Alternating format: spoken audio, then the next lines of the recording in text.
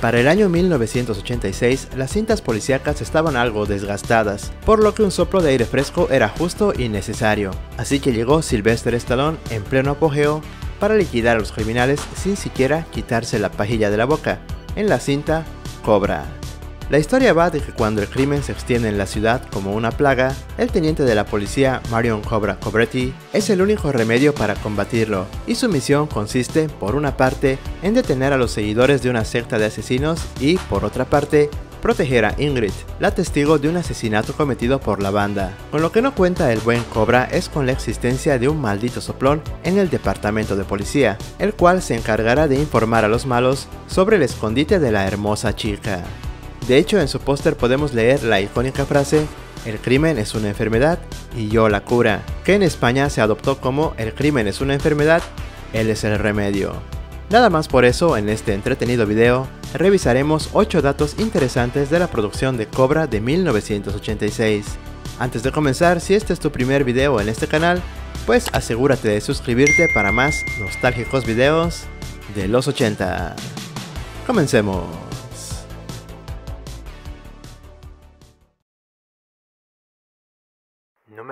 8 Eres la enfermedad y yo la cura. Antes que nada, lo mejor es develar el origen de la cinta Cobra. Pues bueno, en un principio Sylvester Stallone ya había firmado para protagonizar una película policíaca de comedia, llamada Un policía en Beverly Hills, la cual al final sería protagonizada por Eddie Murphy. Pues bueno, a Stallone no le gustó del todo el guion de esta cinta, y lo modificó él mismo para adaptarlo más a su estilo, o sea, quitando mucho de la comedia y dándole al protagonista un estilo más de héroe de acción, y a la chica en peligro dándole el rol de interés amoroso del protagonista. Todo esto condimentado con grandes escenas de acción. Sin embargo, Paramount Pictures rechazó las modificaciones al guion de un policía en Beverly Hills y le dijeron a Sylvester que no contaban con el presupuesto que requería su idea. Al final, Sylvester guardó el guion modificado y meses después lo titularía Cobra en el cual todo rastro de comedia sería eliminado definitivamente, aunque no todo el crédito se lo quedó Stallone, pues tiempo después se confirmaría que sus modificaciones se basaron en el libro Fair Game de Paula Gosling, publicado en los 70, en el cual se cuenta la historia de una chica que por accidente es testigo de un homicidio y es perseguida por el criminal.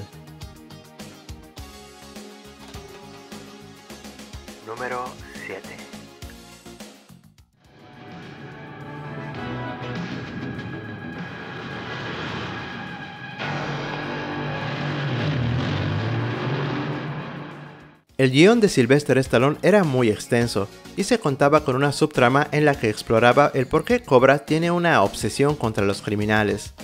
Pues bueno, resulta que él tenía una novia que fue víctima fatal de un psicópata, al cual Cobra intentaba atrapar.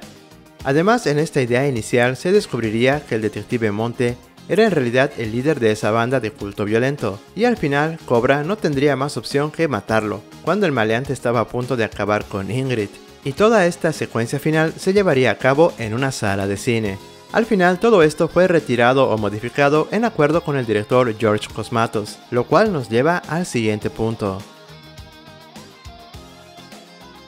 Número 6 Ella terminará nuestro mundo. Y el sueño. Tienes que acabarla.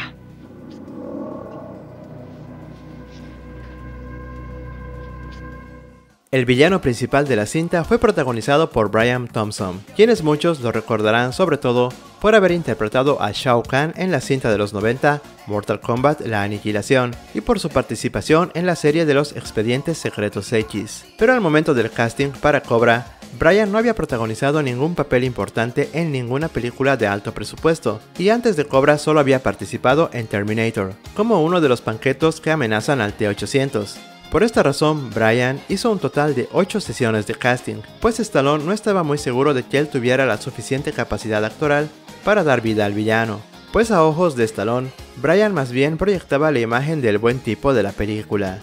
Un sujeto bien parecido. Sí, si lo ves al revés.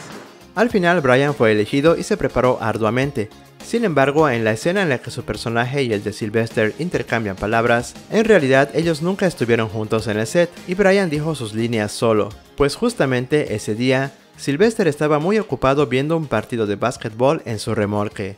Y es que se dice que por aquel entonces, Sylvester andaba con los humos de artista famoso muy elevados. González habla demasiado, ¿verdad?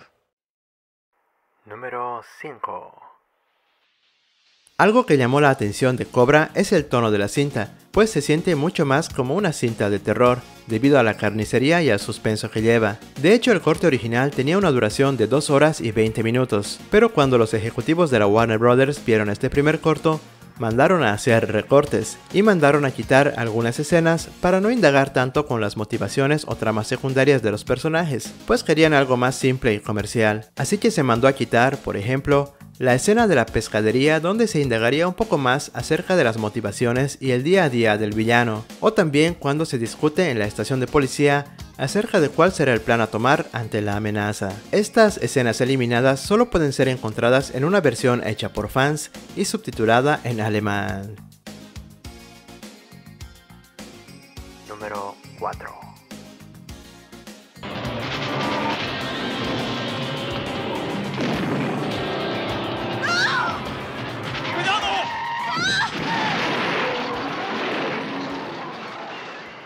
Como lo mencioné anteriormente, por aquellos años Stallone estaba que tocaba el cielo con las manos, debido a su popularidad, y aprovechando la misma y justo después del estreno de la cinta, el actor contactó a la autora Paula Gosling para ofrecerle un relanzamiento de su libro Fair Game como parte de la mercadotecnia de Cobra. ¡Mercadotecnia!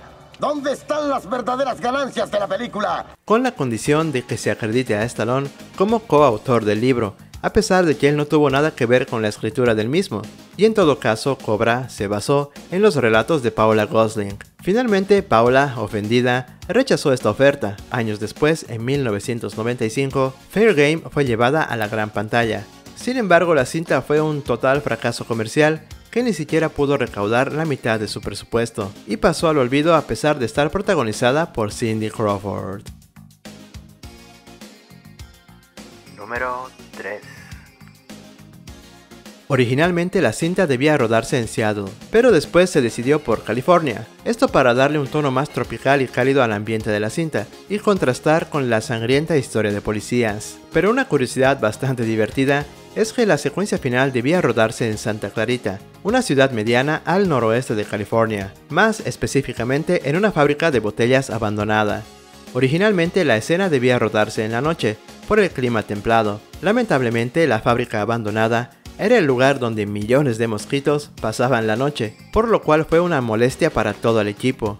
Al final la producción decidió rodar de día, pues era mejor aguantar unos grados extra de calor a una banda de pequeños chupasangres.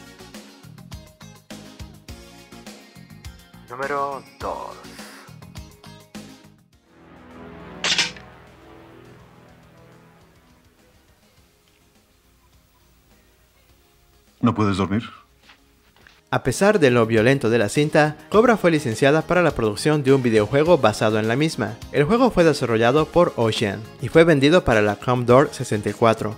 Obviamente para agregar variedad al juego se agregaron niveles extra que no aparecen en la película, y hoy en día el juego quizá luce algo pobre, pero si eres fan de Cobra, pues sin duda deberías tener este artículo en tu colección.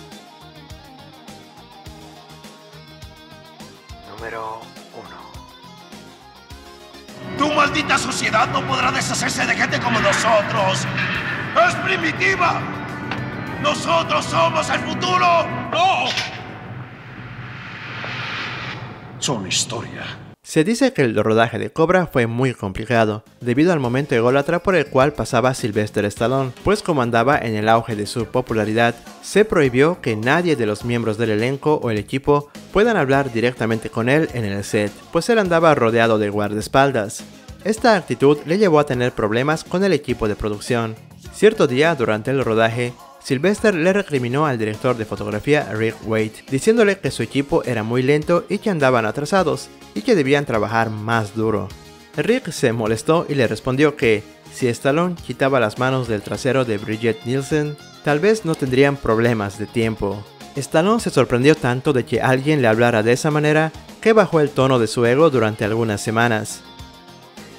Por otra parte, y misteriosamente, el actor más ninguneado de la cinta fue Brian Thompson, el cual no fue invitado a la premiere y tuvo que ver la película pagando su propio boleto, por lo cual hasta hoy en día el actor no encuentra una explicación lógica, pero se dice que Stallone movió los hilos pues él no quería ser opacado por Brian.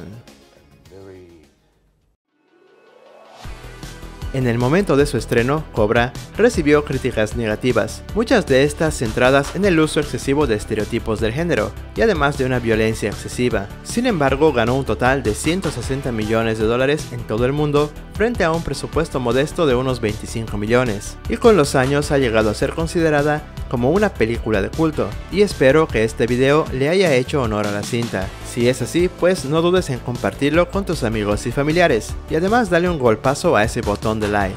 Y no olvides dejar tus comentarios que los leo todos. Nos vemos en el siguiente video acá en Los 80.